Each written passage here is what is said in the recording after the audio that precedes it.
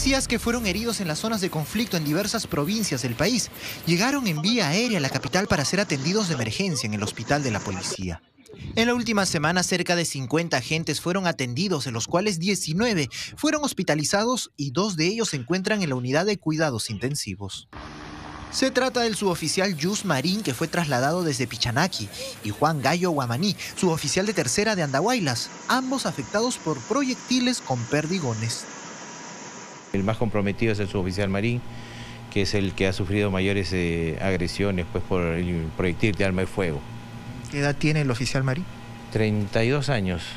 32 La familia está en constante comunicación con ustedes. Ellos han venido acá hasta Lima. Eh, nuestro ministro del Interior, el señor ministro del Interior, el comandante general, así como el comando de la sanidad, de general Nagui Cabrera, el general Villacorte, están todos preocupados constantemente. Estamos coordinando. Hoy día en la mañana el señor ministro se ha entrevistado con la familia.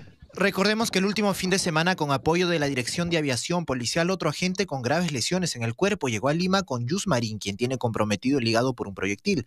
Se trataba del alférez Cristian Quispe, con él también fue trasladado el suboficial Halmer Herrera, quien por una complicación operatoria tenía que ser hospitalizado en Lima. Cabe precisar que él no fue herido durante los actos violentos. Un alférez que ha sufrido un impacto en la región pélvica, eh, está estable felizmente, recuperándose, está actualmente hospitalizado en una de las salas que hemos preparado para los pacientes evacuados. Eh, el otro paciente es un suboficial, un valeroso policía que está en un estado bastante delicado, pronóstico reservado, con un proyectiles de impacto de, por arma de fuego, con compromiso de múltiples órganos.